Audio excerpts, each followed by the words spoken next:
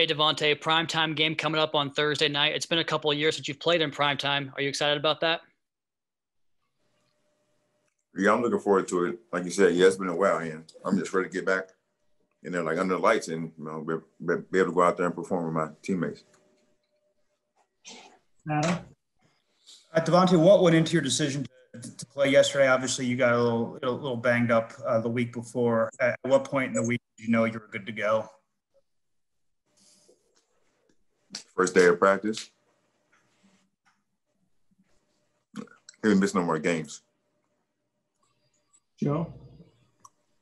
Hey, DeVante, I can't imagine what it must be like to play a game on a Sunday and then turn around and play right again on a Thursday, both mentally and physically, but especially physically. What are some of the things that you will do each day, Monday, Tuesday, Wednesday, to make sure that you're at peak physical condition with the game so close together? You know, need a uh, recovery, you know, sleep, rest, whatever you need to do to take care of your body to be ready for that. Adam? How much have you kind of helped give some guidance to Preston uh, during his, you know, his young career? Obviously, he had he had catch he'd like that back yesterday, um, coming back off an injury. You, have had that experience as well. What, what kind of advice have you given him? I just tell him, you know, do what you can. Try to fight through the fight through the pain if you can, but you don't want to do too much. Joe?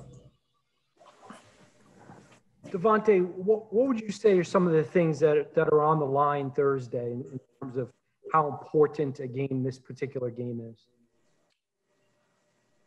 I say we just need to get a get a W. That's it. That's the biggest thing. You know, get our first win of the season. Hi, Solomon. What was the feedback you got from Coach Marshall about how you played in week two compared to week one? Um, he said I played very well. He said I played good. Uh, you know, after coming off a game, everybody got small things to get better at, uh, so you can be great in the next game. So um, the, those small little things, I'm trying to work hard on that and just get film in and get ready for Jacksonville. Omar. Solomon, I know you guys are just trying to establish an identity right now, but what do you want and envision this offensive line to look like and play like? Um, me from any office I ever played for, we always been fa- fast and physical, fast and physical, smart. Um, the leaders on the team, and we just the offensive line. I want us to carry the team, and however however far we go, I want you to be because offensive line because we're good. How much we collaborate, how much we love each other. So we, I want the offensive line to be going around the whole team, the atmosphere, and our energy. Travis. Hey, Solomon, I know you're excited to go back to Duval on Thursday night. Uh, how much more exciting is it that it's in prime time? Uh, it's crazy. Like I, I, remember watching TV and like just seeing Thursday night games, watching Jacksonville, and they playing. And like now, it's a dream come true that I'm able to go even go back to that uh, to that stadium. And now I'm playing on Thursday night football. It's just I'm excited. I'm ready to go. Joe. Hey, Solomon, I'm not sure if you've ever played two games in five days before, but what have you heard? What have you heard from maybe the coaches or the strength coaches or the your veteran teammates about what you need to do to, to be best prepared for that?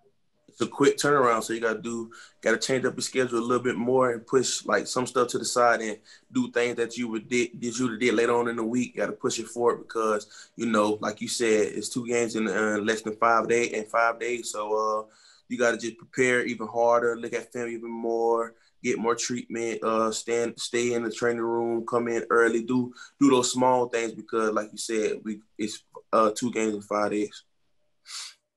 How?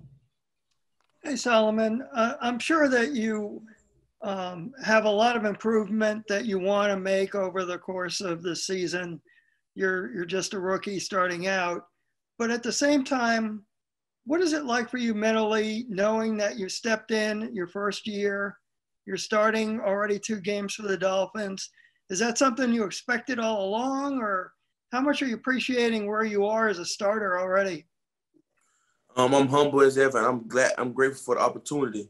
My thing is, I'm not going to say this what I was planning on. Uh, I'm not going to say this what I imagine. I mean, I'm not going to say that like I was going to come in and just start position. I know how hard I work. I know I got something to prove. So my play and what I've been doing off season and coming from Georgia, and I just got plugged in the right space. And like I said, I'm blessed for the opportunity, and I'm gonna keep working and um, get better, to, like you said, throughout the season.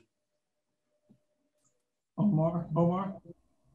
As a unit, when you guys went over the film, I know you allowed three sacks this week, but how much growth or development did you see in terms of chemistry from from week one to week two? Uh, we we're right we're right there to winning a lot of games, being a, lot, a good offensive line and a good uh, NFL team. We just like that one little thing, that one second, that one play, not just on the offensive line for the whole organization to be a very good NFL team. So we're trying to scribe on scribe on that little things, those little things, and hopefully we can uh, get over that little hump Thursday. Safid. Hey Solomon, you guys were able to get Jordan Howard into the end zone um, on the next drive after um, losing the football on downs there. But did you want to get an opportunity, maybe you or, or the O line? Did you guys want to have another opportunity to try to run that ball in on, on that possession where you guys were at the one and could have punched it in? Oh yeah, no doubt. That's that's that's that drive momentum. It, it gives the other team like okay, they get down the goal line. These these offensive linemen, these big guys, they want to play physical. They want to do nothing but run the ball. That don't only put fear into the defensive lineman that you playing, but it put fear to any other team that you're going to be facing throughout the year. So, you know, that's what we thrive on. That's what we drive on to run the ball into in goal line to make people know and let people know what we what we're about and what we're trying to build. Just in general, can you tell us about how you feel things went for you on Sunday? Um, definitely didn't play close to what I know my caliber of play is. So um, just got to get back to the drawing board and learn from that and learn from the mistakes. We just got done watching film made the corrections, So had to come into next week or just really this Thursday's game just a whole lot better. And I know I can play way better than what I put on the field. Omar. Nik, I wanted to ask you uh, in terms of the nickel, that's not something that we saw during training camp, but then it's also something that we've seen from you in the past, going back to last season. How much work have you done there, and when did you know you were going to get that opportunity this last past week?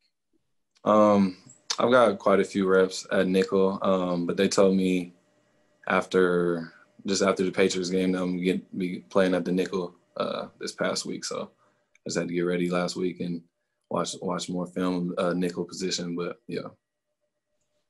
Go ahead, Omar. I, I know you you're a guy who just wants to play and wants to get on the field, but do you feel like nickel is a position that fits your skill sets? If so, why?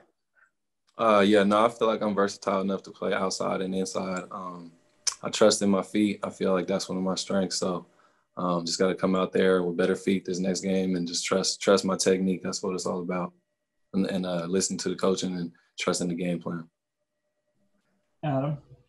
Uh, yeah, I have a two-part question, if I could. I'm sure that that film study today was wasn't pleasant. Uh, what the first question is, what what did Josh and GA say to you about it?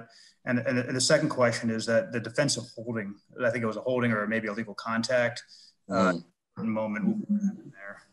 Uh, that's what I'm saying. Just bad technique. My hands were outside of my frame, so I'm grabbing on the outside of the shoulder pads. Um, just got to keep my hands tight, keep my feet tight, so that doesn't happen ever again. And uh, what was your first question again? Uh, just you know, some of the feedback you got from coaches today. Oh yeah, just what I told you. We got to just trust in the technique, get back to the drawing board. Um, they know, and I know I can play way better than that. So that's really what was talked about. Travis. Nik, you mentioned the quick turnaround to Jacksonville on Thursday night, your first primetime game in your career. Are you excited for that, playing under the lights no, Thursday night? Yeah, no, I'm definitely excited. Um, definitely ready to get right back out there this week and having a Thursday night game is couldn't be more better than that. How? Huh? Oh, sorry. Um, I'm, I'm wondering after the New England game, we saw how easily New England ran on your defense. And then yesterday, how easily the Bills passed on your defense. So I'm wondering where the confidence level is on the defense as a whole. Do you feel it's uh, shaken at any uh, to any point, or where is it? No, it's not shaking. Um, we're right there. It come down to little little plays, leverage, um, knowing the personnel, and all the little things like that. So uh, if we can just execute on that this week, we should come out um, with a positive uh, result. All right, we'll take one more, Joe. Nik, obviously a short turnaround, but um, an important game how would you describe the, the sense of urgency, the sort of um, climate, the mood there for the team heading into this game? Um, well, we're not about to freak out or think about anything like that. So, Coach Flo even said we're right back to it. Um, it's a long season ahead of us. What not a perfect way to get right back out there on a Thursday so we can get right back to it and get a W.